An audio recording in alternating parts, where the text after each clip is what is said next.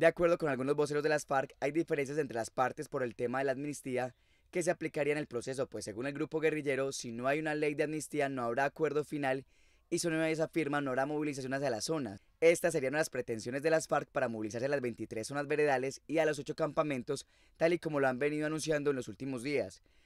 La primera de ellas es una amnistía que aplicaría para aquellas personas que están en las cárceles del país por condenas relacionadas con el conflicto que suman por lo menos 9.000 personas, de las cuales la tercera parte son integrantes de directos de la organización.